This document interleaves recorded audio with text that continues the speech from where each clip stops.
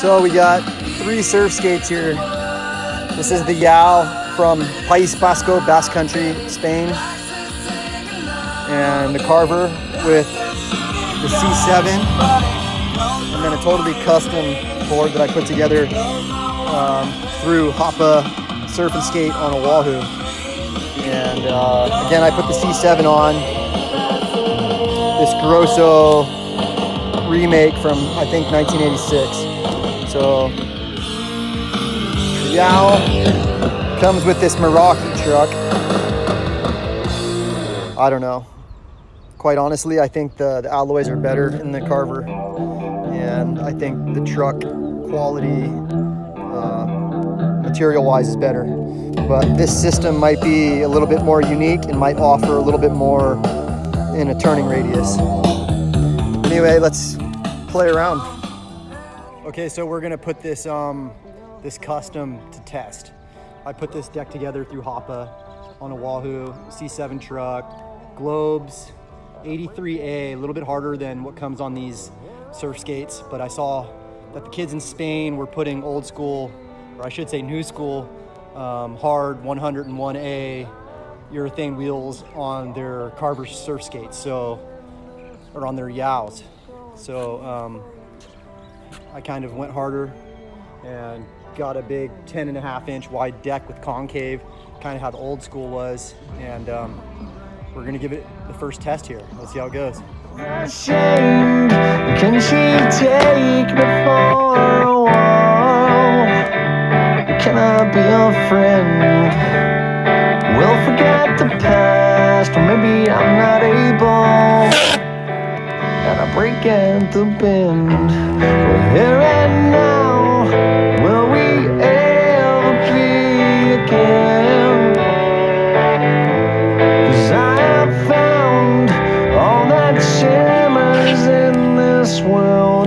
world is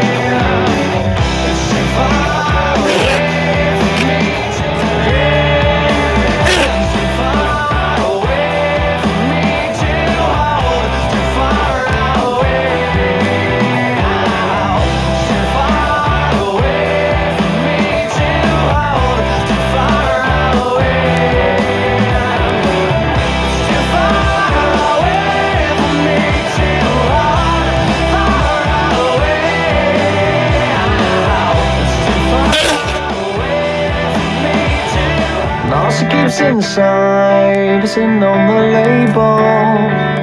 She says she's ashamed. Can she take the fall? And I break at the bend.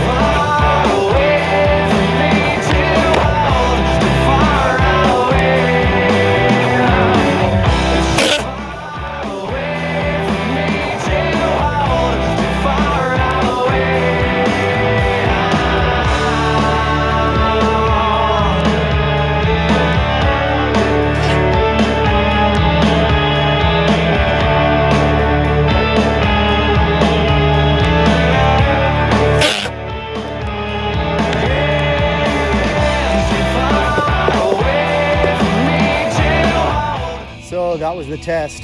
Um, I gotta say that the way to go with these surf skates is to custom make them. Either get yourself a Meraki truck system from Yow or a Carver C7 and then put it together, uh, piece it out.